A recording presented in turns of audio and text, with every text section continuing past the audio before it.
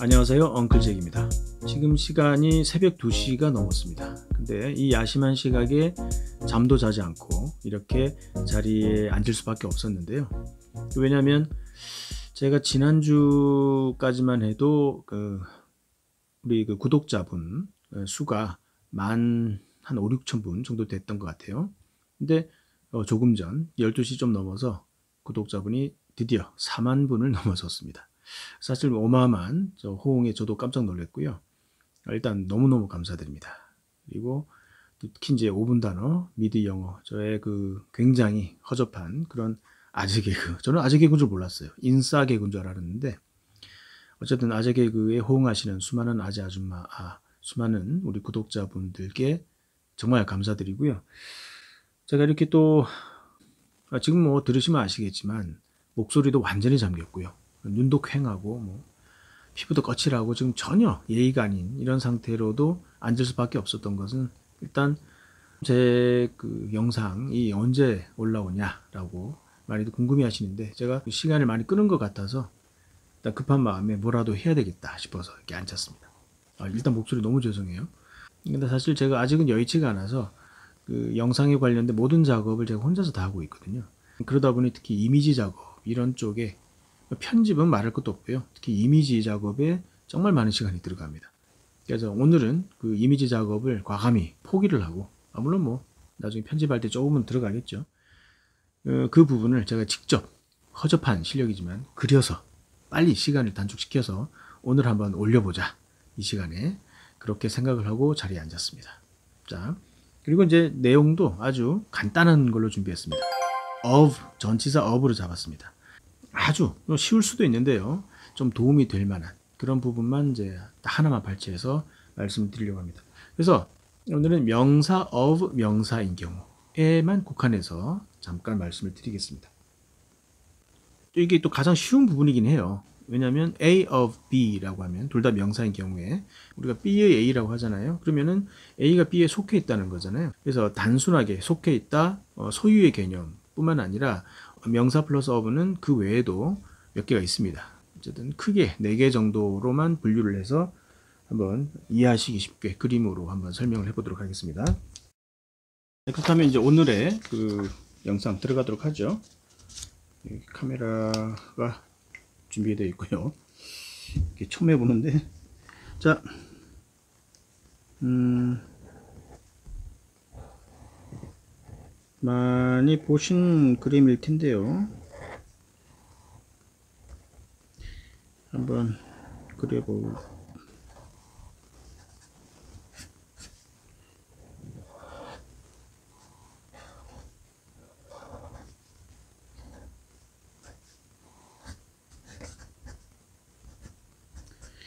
그렇습니다. 심슨이고요. 뭐 이렇게 대충 뭐 그렇게 하도록 하죠. 뭐.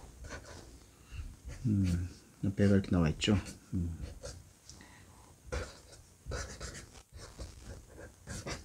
자, 대충 이렇게 그려 놓고요. 자, 이런 그림이 있는데 이 그림 밑에 The picture of Jack 이라는 어, 글자가 있습니다. 이런 표시가 붙어 있다면 자, 여러분 생각에는 이 뜻이 뭘까요? The picture of Jack. 그래서 여러 가지로 해석이 갈릴 수가 있기 때문에 사실 어브에 대한 의미를 정확하게 아실 필요가 있는 경우가 있습니다. 그래서 좀 알아두시는 게 좋은데요. 자, 여기서 우리가 정해보죠. 일단 사실 맥락에서 파악을 하시면 되는데 그 몇 가지가 있는지 보자 이거죠. 여기서는 이제 잭이 그린 거라고 생각하고요. 제가 그랬으니까 그러면은 잭 E 그죠? 잭 E 그린 그림이기 때문에 주격이 됩니다. 주격 그죠? 왜? 주어니까 그죠? 잭이 제가 그린 그림이니까 잭이 그래서 주격이 되고요. 자 다음 거 하나 볼까요?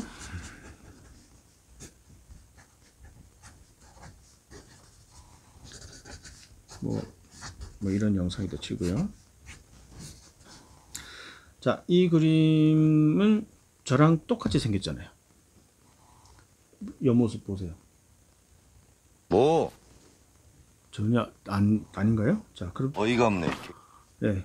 자, 저, 지금 제가 아니라고 치고요. 좋습니다. 자, 이 그림도 마찬가지로 똑같이 이런 제목이 붙어 있다고 쳐보죠. 그랬을 때, 자, 이것은 뭐 저를 안 닮았다고 하시니까 어 그냥 잭이라고 하죠. 이 그림을 뭐. 뭐, 뭐 지- 저든 아니든 잭이 많잖아요. 그냥 이 그림 이름이 잭입니다. 이 그림 이름이 잭이에요. 그러면 The Picture of Jack 똑같아요. 대신 내용상 어떻게 될까요? 그림이 잭이기 때문에 동격이라고 합니다. 동격 같다는 뜻이죠. 동격의 of가 되겠습니다. 네, 학창 시절에 많이 들으셨죠? 그냥 기억을 한번 되뇌 보시고요. 자, 다음은 음, 뭐 저를 안 닮았 이제 좋아요. 그럼 제가 저를 그려보죠. 자, 이 15만 가닥의 머리카락 구독자 수가 그죠? 턱은 여기쯤 있죠? 귀 두 개, 그다음 눈썹이 좀 짧죠? 음, 짧고 눈은 그죠? 항상 졸리는 졸린 눈. 코는 어떻게요? 어떻게요? 아닙니다. 코는 어떻게요? 삐뚤어졌어요, 약간. 자, 그리고 자, 입 읽겠습니다. 그러니까 살짝 삐뚤어졌더라고요. 저도 이 영상을 보다 보니까 삐뚤어졌더라고요. 자, 삐뚤어졌고. 어릴 때부터 삐뚤어질 거야 라고 막 그랬었는데 입이 삐뚤어져 버렸어. 자, 그리고 보통 저 같은 사람들은 이제 이게 목이 없죠. 이 라운드 티는 아닙니다. V넥인데 이 저 같은 사람은 아실 거예요. 다 이 라운드 V가 없어져요. 또 라운드가 되지. 어깨가 여기서부터 시작되죠. 여기 시작되고 이렇게 어, 뭐 이렇게 하죠. 뭐. 이렇게 해서 뭐, 이렇게 해서 있습니다. 자 이렇게 또 이런 사람들은 또 항상 음, 브랜드를 입죠. 음, 옷이 최고급 브랜드 삼성. 삼성.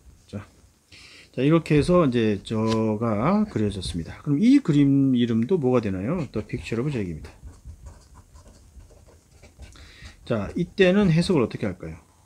잭을 그린 그림이잖아요. 저랑 똑같다고 치면. 그러니까 잭을 그렸으니까 잭을에 해당하는 건 뭘까요? 바로 목적격이 되겠습니다. 목적격. 그리고 마지막으로 하나 더 가도록 하죠. 이렇게 이렇게 할게요. 아니다. 이렇게 하죠. 자, 만약에 제가 여자로 태어났다면 아마 이랬을 겁니다.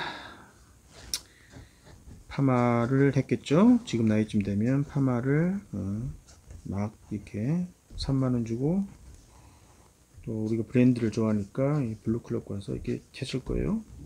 최고급 뭐 파마를 해서 어, 볼살은 어디 가겠습니까? 이렇게 되고 음, 이렇게 해서 뭐 코는 좀 하고 눈은 이제 아무래도 그죠? 예, 생기고 뭐 앵두 같은 자, 이 볼, 이, 뭐 씹고 있는 게 아닙니다. 입에 입안에 묻은 게 아니고 그냥 살입니다. 턱이 이렇게 또 음, 하나 더 턱이 두 개. 그 턱을 보니까 또 갑자기 생각이 나는데요. 턱을 친이라고 하죠. 친, 친이라고 하는데 이 뭔가 낙담한 사람에게 힘을 줄 때 하는 말이 hey, 힘내, up이라고 해요. up. 턱 들어 이 말이죠. 턱을 들으라고. 그죠? 그러면은 이게 기가 죽어서 숙이고 있으니까 야 턱 들어 하면은 힘내 이 말입니다. 그래서 up은 어, 어떻게 위로를 하는 그런 표현이 되겠는데요. 어떤 그 사람이 살이 너무 찐 거예요. 이 정도 살이 쪘어요. 이, 이 접니다. 저 누구 저 비하하는 게 아니에요. 저입니다. 저. 그래서 이게 살이 쪄서 늘 이제 그 다이어트를 고민을 하고 있는데 별거 다 해봤죠. 뭐 간헐적 단식도 뭐 4시간마다 하는 걸로 꾸준히 했고 그랬는데도 실패한 거예요. 그래서 이제 낙담을 한 거죠. 난 도저히 안 되나 보다. 그러고 있는데 아, 이렇게 낙담해 있는데 지나가시는 분이 헤이 힘내 라고 하면서 이런 말을 해줍니다. 턱이 두 개니까 Hey, chin's up. 자, 이렇게 마찬가지로 이제 이렇게 음, 이렇게 아, 가슴 아닙니다. 배입니다. 어, 배. 배는 아직 끝나지 않았네요. 자, 이렇게. 음, 삼성. 자, 이 그림은 마찬가지로 더 픽처러 문짝이라고 하죠. 대신 다른 의미로 한번 생각을 해보자고요. 이건 뭐 저를 그렸으니까 어, 저를 그린 목적이 되고요. 이것은 물론 저라고 했지만 실존 인물이 아니기 때문에 소유격, 아까 쉽게 우리가 가장 많이 알고 있는 소유격, 속하다는 느낌으로 생각을 해보면 잭이 가진 그림이에요. 음? 그래서 제 겁니다. 그래서 그냥 제 소유라는 뜻이에요. 그래서 소유의 개념이기 때문에 얘는 소유격입니다. 자, 그렇다면 이게 나중에 정리를 할 것 같은데, 자, 어쨌든 이 네 가지 경우, 좀 사실은 더 있죠. 자, 이런 경우들이 많은데, 이런 경우들을 봤을 때, 어, 그냥 우리가 단순하게 명사, 어부 명사, 다 똑같은 구조잖아요. 자, 이런 상황에서도 이렇게, 어, 여러 가지로 다양하게 해석이 될 수 있겠구나라는 팁을 알고 계시면 좀 자연스러운 독해를 하는데 도움이 되실 거로 생각이 됩니다. 자, 오늘은 뭐이 말도 안 되는 이 가벼운 걸로 준비를 했는데요. 하여간 빨리 준비를 해서 5분 단어건 미드 영어건 하여튼 열심히 해서 빨리 올리도록 하겠습니다. 정말 다시 한번 많은 호응에 감사드리고요. 또 영상으로 찾아뵙도록 하겠습니다. 편안한 밤 되십시오.